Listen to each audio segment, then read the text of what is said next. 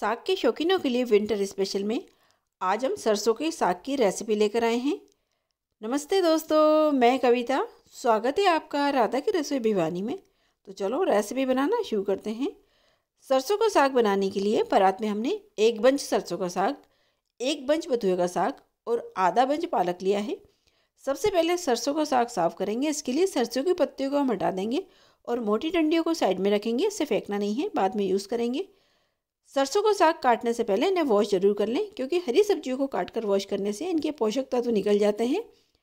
अब इन पत्तियों को मोटा या पतला जैसा चाय काट लें। हम इन्हें वॉश करना भूल गए थे तो बाद में वॉश करेंगे। सारा सरसों का साग हमने काट लिया है। सारी डंडियाँ हमने इकट्ठी कर ली हैं।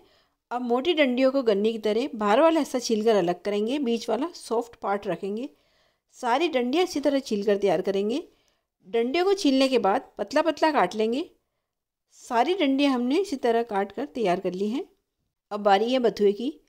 बथुए की डंडी को पकड़कर हल्के हाथों से पत्तियाँ निकाल लेंगे और डंडियाँ हटा देंगे। सारा बथुआ इसी तरह तैयार करेंगे।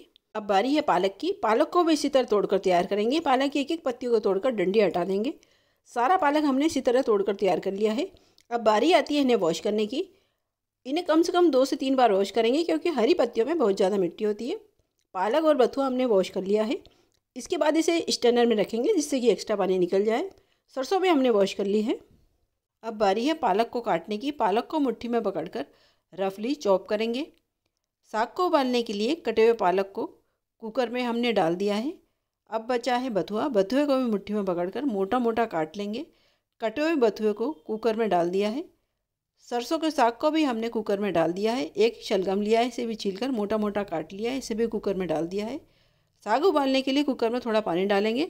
कुकर का ढक्कन बंद करेंगे। कुकर गैस पर रखकर फुल फ्लेम पर एक, मीडियम फ्लेम पर चार विसिल लगाएँगे। कुकर ठंडा होने पर कुकर खोलकर साग को पोटेटो मेशर या मथनी से मथ लेंगे।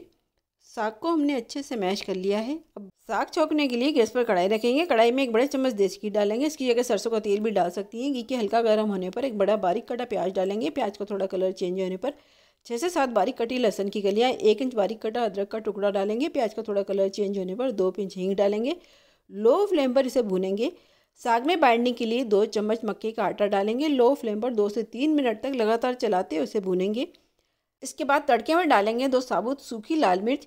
यहाँ पर हमने लाल मिर्च तोड़कर डाली है, यदि साग स्पाइसी बनाना चाहती हैं तो सूखी तीखी साबुत लाल मिर्च ज़्यादा भी डाल सकती हैं। लो फ्लेम पर एक से दो मिनट भूनने के बाद साग में अच्छे कलर के लिए दो चुटकी हल्दी डालेंगे। लो फ्लेम पर एक से दो मिनट तक इसे भूनेंगे। एक बड़े साइज़ की टमाटर की प्यूरी डालेंगे। डेढ़ चम्मच नमक डालेंगे। नमक आप अपने स्वाद के अनुसार कम ज़्यादा डाल सकती हैं। सभी को अच्छे से मिक्स करेंगे। कटोरी को धोकर थोड़ा सा पानी डालेंगे और इसे भूनेंगे। मसाले में थोड़ा घी कम है तो थोड़ा देसी घी और डालेंगे। पंजाबी रेसिपीज़ में देसी घी ज़्यादा ही डलता है। आप अपने अनुसार घी कम या ज़्यादा डाल सकती है। मसाले से घी अलग होने पर उबला हुआ साग डालेंगे, कुकर का धोकर थोड़ा पानी डालेंगे, साग को मिक्स करेंगे। साग को ढककर लो फ्लेम पर आठ से दस मिनट तक कुक करेंगे। चार पाँच मिनट के बाद साग को पलटेंगे। चार पाँच मिनट लो फ्लेम पर और ढककर कुक करेंगे।